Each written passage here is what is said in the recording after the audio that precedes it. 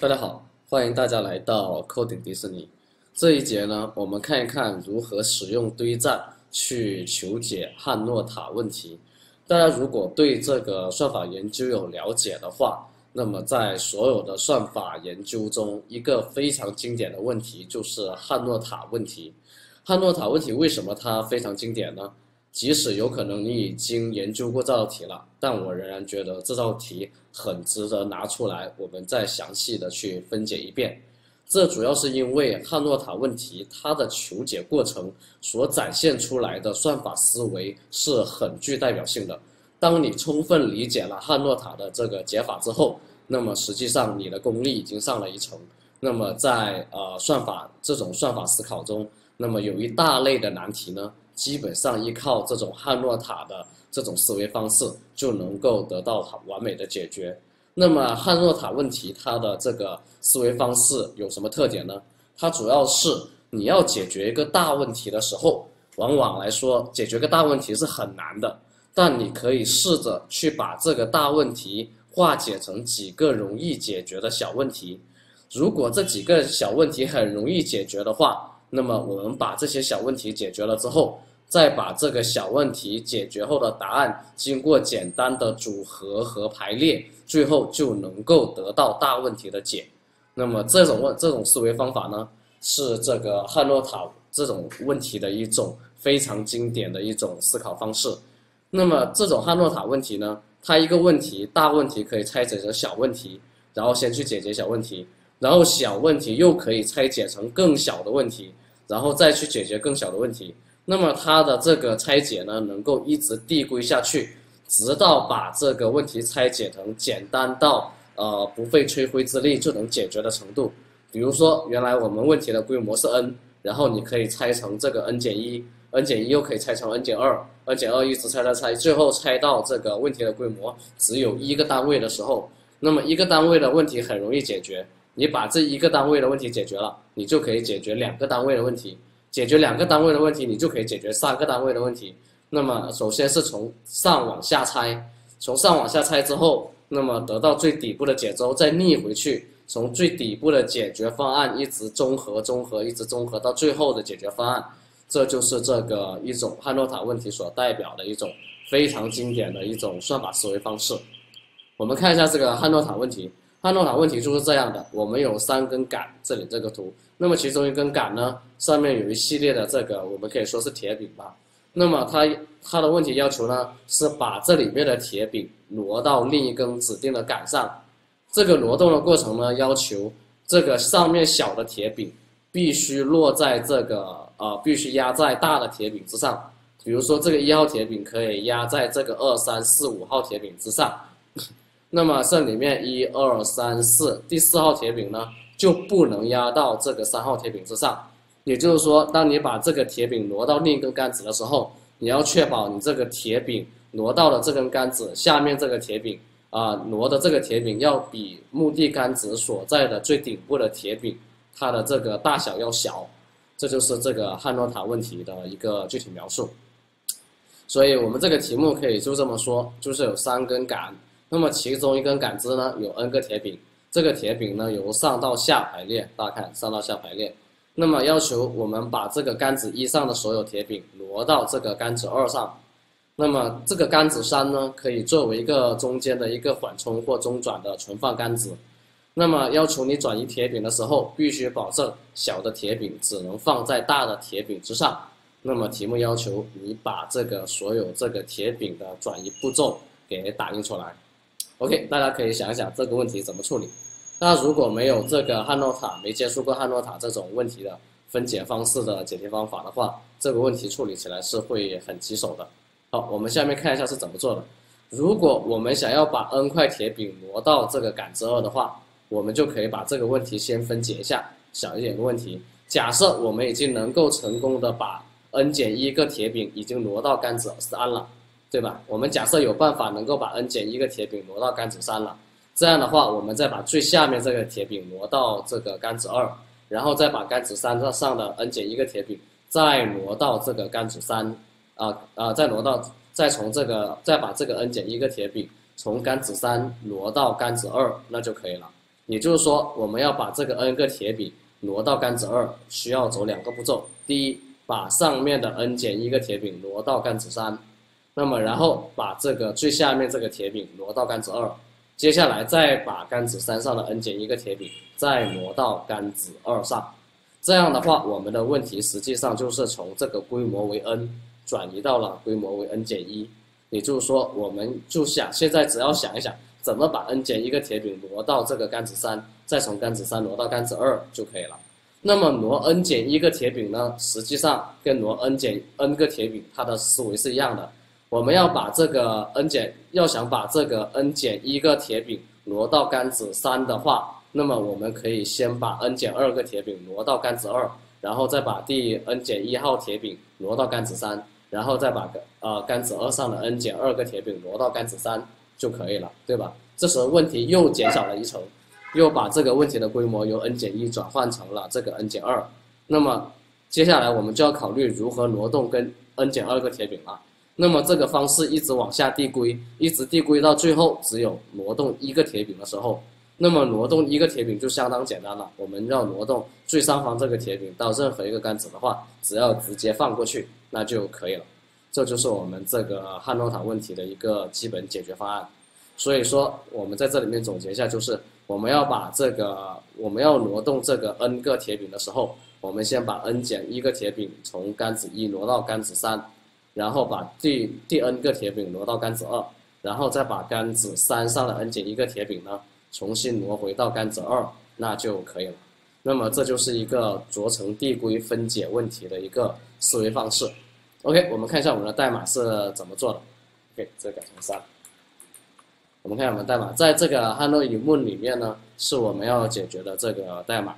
呃，问题的代码。这个 Hello Moon 呢，在这个 Flow 呢，from 指的是这个原来铁饼所在的这个杆子的编号，to 呢。指的是所在的这个目标杆子的这个编号，那么这个 from 和 to 呢，最多就是 from 我们现在设置为零，to 呢最多不超过三，因为我们假设只有三个杆子。那么在这里面我们输入三个参数，第一个参数 n 呢表示的是这个呃杆子一上设置几个铁饼，如果我们只尝试三个铁饼的话，那么到这里这里传入是三就可以了。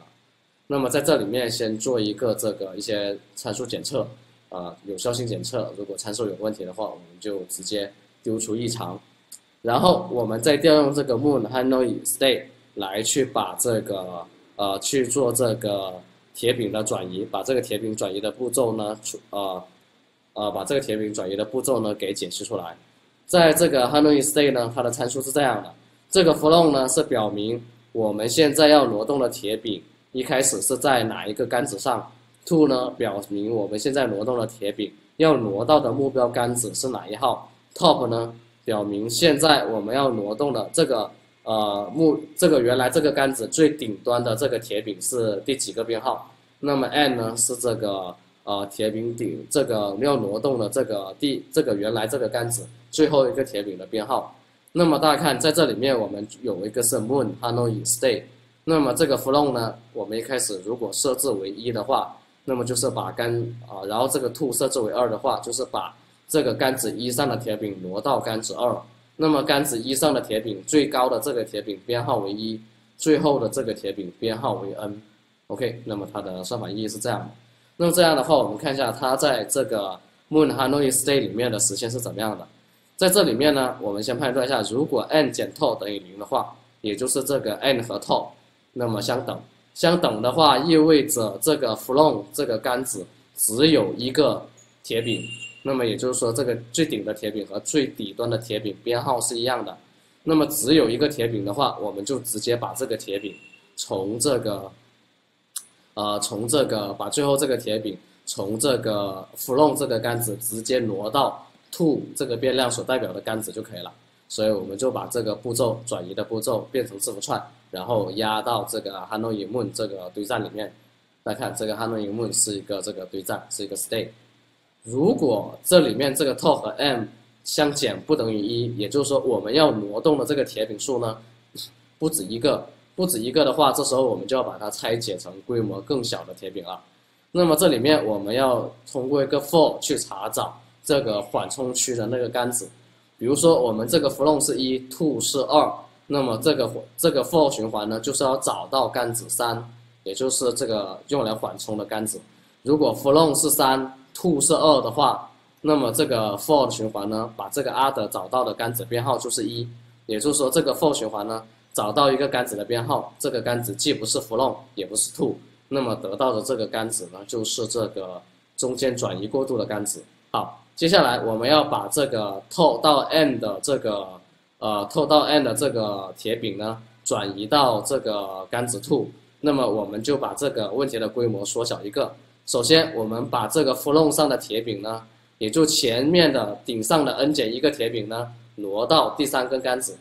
然后把最后一个铁饼呢挪到这个呃目标这个杆子，然后呢再从这个。呃，因为我们这里这一步已经把 n 减一个铁饼挪到这个 other 所代表的杆子上了，那么接下来呢，我们再把这个 other 上的 n 减一，也就是 n 减一个这个铁饼呢，再挪到这个目标目标杆子上，那么就用这个 moon Hanoi stay，然后这个 top 和 n 减一，那么这样的话，我们就可以把这个从顶部的 top 到 n 的这么多个铁饼挪到这个目标杆子了。那么大家看，在这里面呢，它是反复，这是一个递归的，它在反复往下递归。那么这里面假设这个 n 减 t 的值是一的话，那么这里面我们传进来之后，n 在这里面进来之后，这个 n 减 t 它的值就会变成这个 n 减一，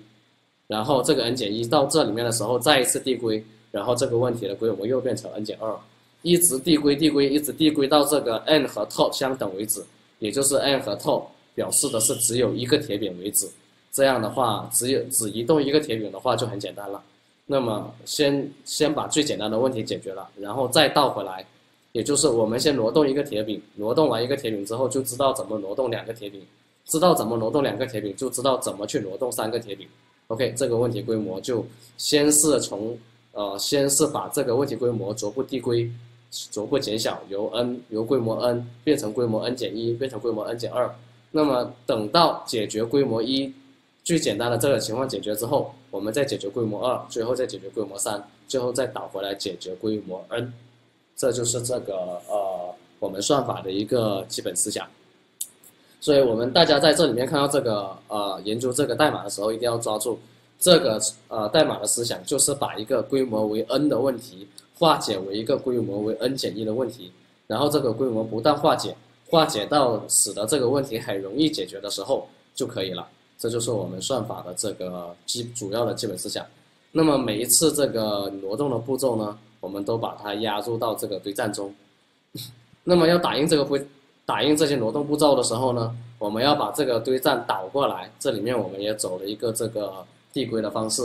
那么这个堆栈最底部的这个这个步骤呢，就是我们挪动铁饼的第一个步骤。呃，导数第二个字符串呢，表示的是我们挪动铁饼的第二个步骤。OK，大家到时候拿到代码可以再去研究一下这个打印的方法。实际上，我们在这里面用这个堆栈实际上是多余的。大家可以尝试把这个堆栈去掉之后，看一看你怎么去把这个，怎么直接去把这些步骤给打印出来。这个如果有做一个作业，大家可以自己尝试一下。好，我们再看一下我们入口处的这个，呃，入口处的这个代码。在这里面呢，我们用了这个 Hello Moon 的一个类，那么前面这个三呢，表示我们这个要移动的铁饼有三个，然后呢，这个一开始的这个铁饼全部都在杆子杆子一上，然后我们需要把这个铁饼挪到杆子二，OK，那么把这些参数放进去之后，直接通过这个 Pre Moon Steps 就可以把这个步骤给打印出来了。我们运行起来看一下。好，运行了之后，大家看这里面呢，我们就把这个铁饼挪动的这个方法给打印出来了。首先，把第一把一号铁饼从杆子一，也就是 day 一挪到杆子二。我们给我在这里面给大家做了一个模拟。啊，哎呀这个东西怎么把它去掉啊？太郁闷了这玩意儿。是是是是是他挡住了这个东西。哎呀我这里不知道怎么把它给去掉哎呦正好把我这个给挡住。这这这太郁闷了。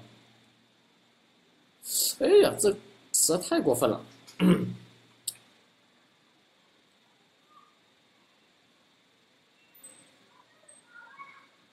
再再再进来一下。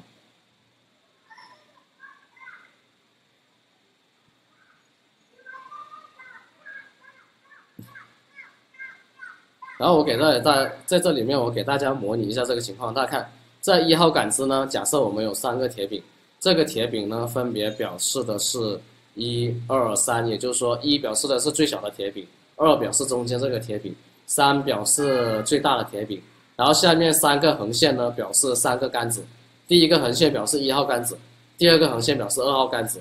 然后第三个横线呢表示三号杆子。那么第一步呢，我们看一下，第一步是把这个铁饼一挪到从杆子一挪到杆子二，这样的话，我们就把这个一号铁饼挪到第二个杆子。那么这个情况就这样，把上面这个一挪到了一号。第二步呢，就是把二号铁饼，大家看，第二步呢就是把二号铁饼从杆子一挪到杆子三，也就把这个二挪到这里面来，最后就变成了这种情况，这个二到这边来了，我忘了画下面这一根。然后第三步呢，就是把一号铁饼从杆子二挪到这个杆子三，啊，从杆子二把一号铁饼从杆子二挪到杆子三。OK，我这里面画错了。大家好啊，不好意思啊，大家在这里面把它画错了，我给大家再再转化回去看一下就可以。这里这个它这个显示的有点问题，不好意思，大家稍等一下。再看一开始的时候有三个杆子，那么二和第一步呢？第一步的时候，一二三三号铁饼都在杆子一上，然后走第一步的时候呢，是把这个铁饼一挪到这个杆子二，挪到这个杆子二，那么就把这个铁饼一挪到第二个杆子上来。那么走第二步的时候呢，是把二号这个铁饼呢，呃，从杆子一挪到杆子三，所以从这二拿到这里面来，就挪到这，就变成了这种情况。那么，然后走第三步的时候呢，再把一号铁饼从杆子二挪到杆子三，那么这样的话是走第三步的时候是把一号铁饼，OK，这个一号铁饼因为铁饼一它的大小比二小，所以这个一可以挪到二的上面，把一号铁饼从杆子二挪到杆子三，得到的是这个情况。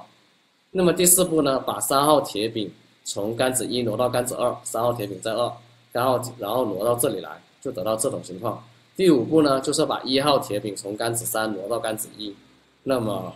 呃，这个杆子这个铁饼是一是在这，把这个铁饼一挪到这个杆子一上来，挪到这里来就变成了一三二。那么第六步呢，把这个二号铁饼从杆子二挪到杆子三，啊，从杆子三挪到杆子二。那么由于二号铁饼比三号铁饼要小，所以它可以直接挪到三号铁饼的上方，那么二就挪到三号来。那么第七步呢，就可以把一号铁饼。从杆子一挪到杆子二，然后把这个一挪到二的上面来。那么到这一步之后呢，那么所有的三个铁饼呢，就全部挪到了我们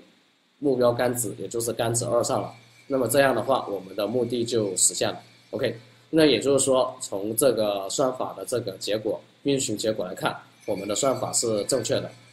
那么汉诺塔问题呢，它这个时间复杂度呢，由于这个汉诺塔是一个呃典型的 NP 完全问题。NP 完全问题就是说，它的算法时间复杂度是指数级的。那么我们现在大概分析一下，假设我们要挪动 n 个铁饼的时候，把这个时间标记为 Tn，那么我们需要先挪动 n 减一个铁饼，所以这个需要的时间就是 T 的 n 减一。然后挪动了 n 减一个铁饼之后，再挪动一个铁饼，这个挪动一次，我们就用 O 一来记。最后再把这个挪动到杆子三上的 n 减一个铁饼挪到杆子二。那么它的时间复杂度就是 T 的 n 减一，也就是说要挪动 n 个铁饼，我们需要两个 T 的 n 减一，二乘以 T 的 n 减一再加上 O 一，那么这个式子呃这个时间复杂度公式算出来的话，最后这个 Tn 实际上就相当于二的 n 次幂，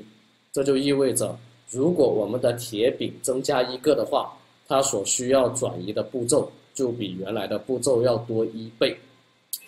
那么接下来大家看一下这个情况。在这里呢，我们转移的是这个三个三个铁饼，三个铁饼所给出的步骤是一、二、三、四、五、六、七七步。我们看一下四个铁饼，它到底需要多少步？好，运行起来看一下。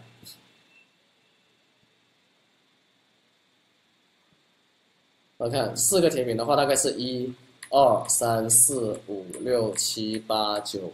十十一十二十三十四十五四个铁饼的话，大概需要挪十五步，可见挪四个铁饼，它的步数就比原来挪三个铁饼的正好是两倍以上。